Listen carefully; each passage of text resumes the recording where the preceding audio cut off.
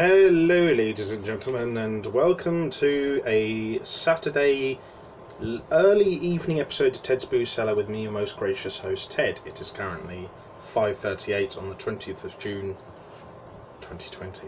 Now, today I'm in a very good mood, because as many of you who are interested in sports may know, the English Football Association decided to finish the Premier League and EFL Championship seasons by playing out the rest of the games, and my team, Charlton Athletic, somehow won today, even though, you know, for the majority of the 2019-20 season, we were, um, well, pretty rubbish, to be honest. I mean, we did just get promoted, so we're not very good, but no, we um we actually got a really good, very well hard fought win today against the mighty Hull City. So I'm in a very good mood, and um, today we're taking a look at a beer I've had quite an interest in for at least a couple of weeks, and I've been looking forward to doing for quite some time.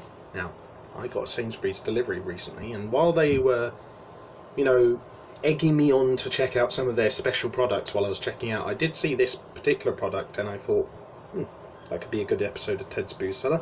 And it is Jubel Beer Cut with Peach, uh, which is by.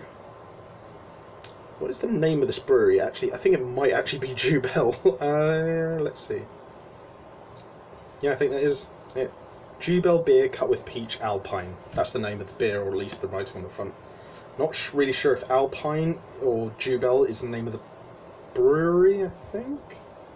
But anyway, someone will point that out to me in the comment section down below. Oh, it's, it is Jubel. Okay, so yeah, it is a beer cut with peach, subtitled Alpine by Jubel. So yeah, no, this this should be quite good because I like concept beers or fruit flavored beers if they're brewed properly, and you know they don't have to necessarily have the most fragrant or jumpy flavor. Like they just have to have a very simple flavor of two or three different flavors mixed together, brewed very simply and purely, and I'm hoping that's what's going to be the case here.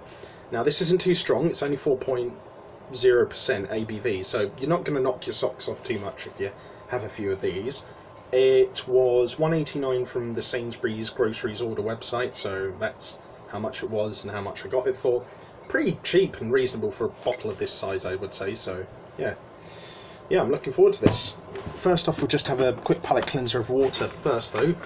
I would say that I quite like the colour scheme of the bottle. The mixture of orange and white against the dark orange bottle is quite interesting. It does make me think of a Jubel sort of aesthetic, and I, I quite like that. I would say that it could be slightly sharper, but still looks pretty handsome all the same. So yeah, 7.5 out of 10 for the bottle and the label. Very handsome looking. Quick palate cleanser of water.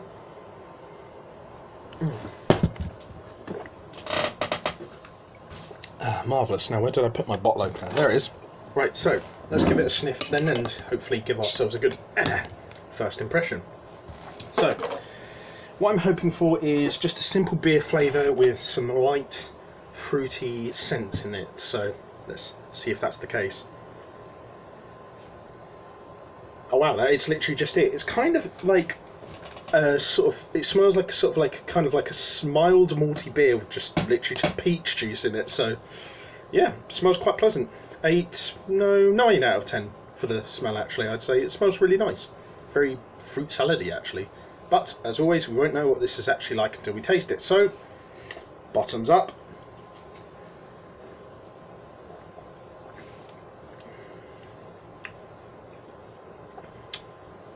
Mmm.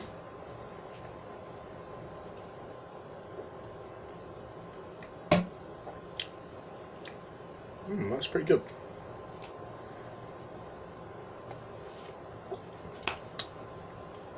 Mmm. God, that is very interesting.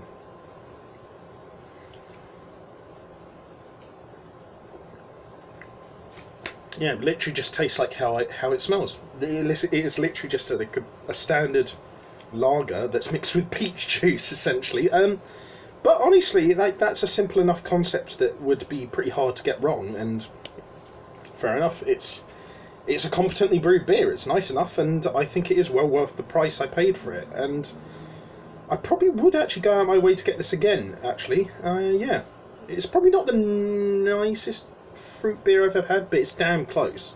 Like easily amongst the top three or five fruit beers I've ever had. So, mm, yeah, it's pretty good.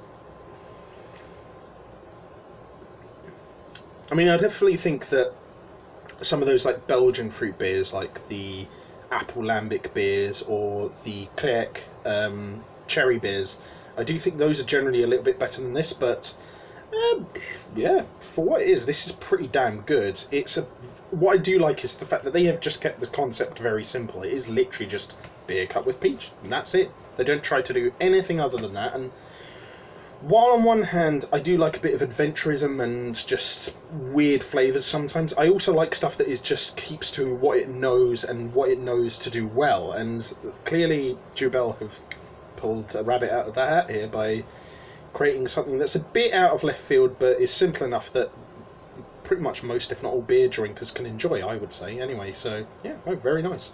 I probably wouldn't say it's a meal drink, but it's it's good enough to have in pretty much every other circumstance. So yeah, I would actually really recommend this. It's well worth the price of one eighty nine, and I'm definitely going to get a few for myself the next time I get a Sainsbury's delivery. So yeah, very very well well met, Jubel. I would give this.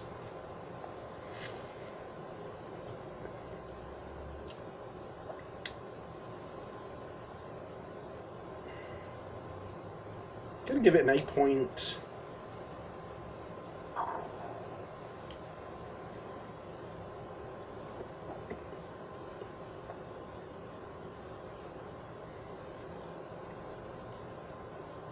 I'm going to give it an 8.75 out of 10. They, I do just think that Belgian fruit beers are slightly nicer, but and there's this like weird like maltiness in this that I'm not massively a big fan of.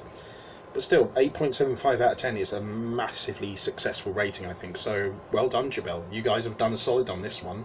And yeah, if you guys did like this video, or at least found it somewhat informative, leave a like, share, and subscribe. If you want to check out any of my other shenanigans, I'll leave the links to my social medias and other YouTube channels in the video description below. And if you've got any suggestions for future episodes of Ted's Booze Cellar, leave your suggestions in the comments section below and I'll check those out. But until next time, I hope you guys are having a good weekend. I hope you're all safe and sound and you're not too bad in the sticks. And I will see you guys next time at the bar on the next episode of Ted's Booze Cellar. Bye bye for now.